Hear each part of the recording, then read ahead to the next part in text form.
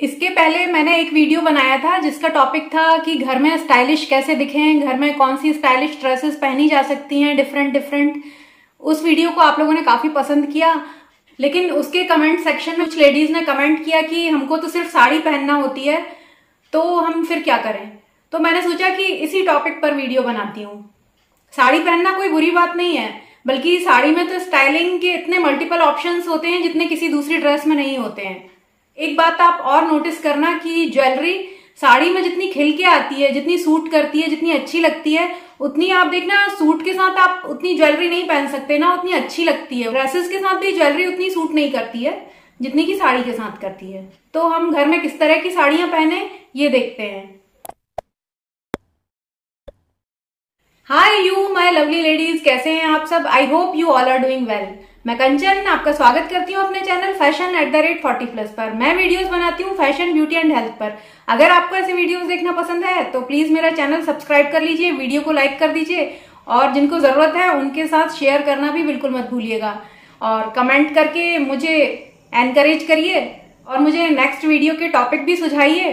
Don't forget to hit the bell icon and you can also follow me on Instagram my insta handle is fashion at the rate forty plus तो शुरू करते हैं आज का video आज के video में मैंने पाँच साड़ियों को इंक्लूड किया है।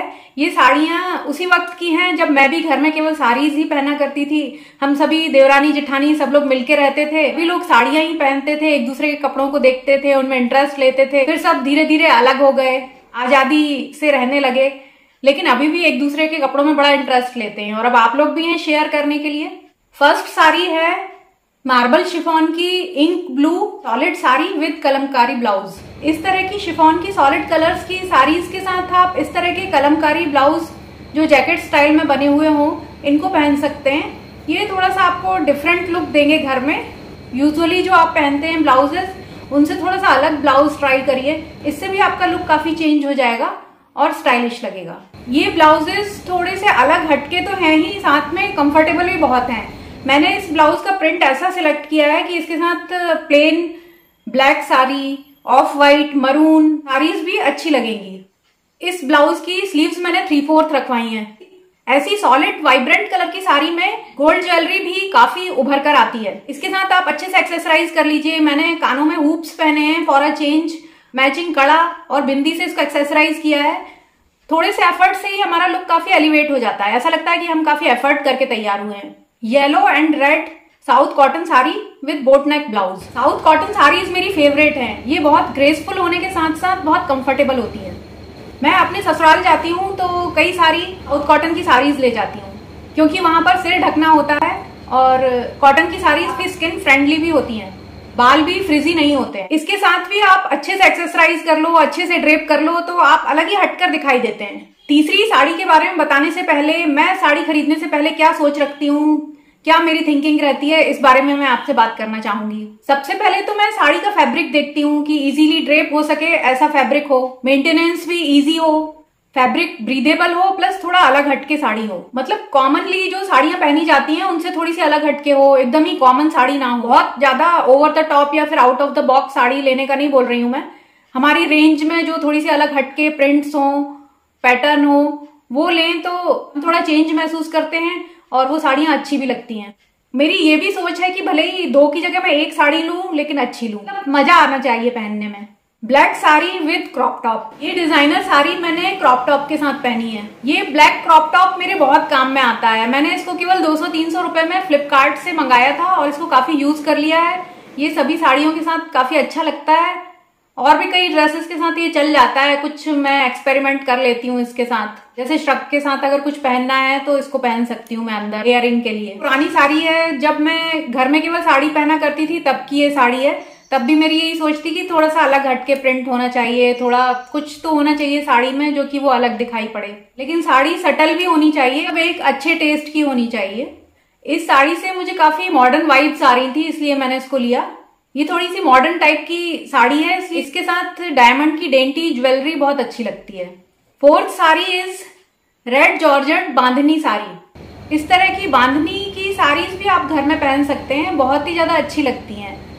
ये इस तरह का ट्रेडिशनल प्रिंट है जो सबके ऊपर ही अच्छा लगता है। मुझे तो वाइब्रेंट कलर्स बहुत पसंद है। रेड मेरा फेवरेट है। इसलिए मैंने रेड में ले रखा है। और भी कई कलर्स में मेरे पास बांधनी और लहरिया की साड़ीज हैं। ये तो हमेशा ही अच्छी लगती हैं। तो अगर आपने अभी तक इस तरह की साड़ीज अपने कलेक्शन में ऐड नहीं की हैं तो ज़रूर करिए और घर में इनको पहनिए तो आपका लुक एकदम डिफरेंट दिखेगा। इसमें भी मैंने थोड़ा सा अलग हटके साड़ी को ट्राई किया है, एक मोनोक्रोम साड़ी ना लेते हुए। इस तरह के प्रिंट की और पैटर्न की साड़ी ली है, जो कि यूजुअली मैंने किसी के पास देखी नहीं है, थोड़ी अनकॉमन है। ऐसी वाइब्रेंट कलर की और बांधनी या फिर लहरिया की साड़ीज पहनने से एकदम हमारा लुक तो एलिवेट हो ही जाता है, इसके साथ साथ दिल भी खुश हो जाता है, पहनने वाले का भी और देखने वाले का भी। ये जॉर्जेट फैब्रिक में है, इसलिए इसमें स्लिम दिखते हैं। Fifth is black south cotton sari. ये साड़ी जो है, इसको मैंने बहुत पहन लिया है। ये पता नहीं कितनी बार धुल चुकी है। इसको मैंने बैंगलोर से खरीदा था और केवल तीन सौ चार सौ रुपए की ये साड़ी है।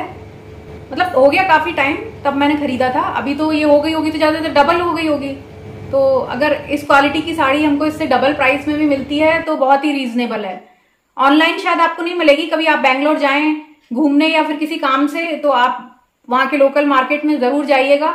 इस तरह की बहुत सारी साड़ियाँ आपको वहाँ पे मिल जाएँगी। ये भी काफ़ी लो मेंटेनेंस है। मुझे इसको आयरन भी नहीं करना पड़ता है और ये काफ़ी सोबर और ग्रेसफुल लगती है। इसका फैब्रिक थिक है, लेकिन इसमें गर्मी बिल्कुल भी नहीं लगती है। इस तरह के पैटर्न भी कलर्स अवेलेबल थे। मैंने सारे ही खरीद लिए थे। इस वीडियो में मैंने केवल पाँच साड़ी ही इंक्लूड किए हैं, नहीं तो वीडियो बहुत लंबा हो जाता।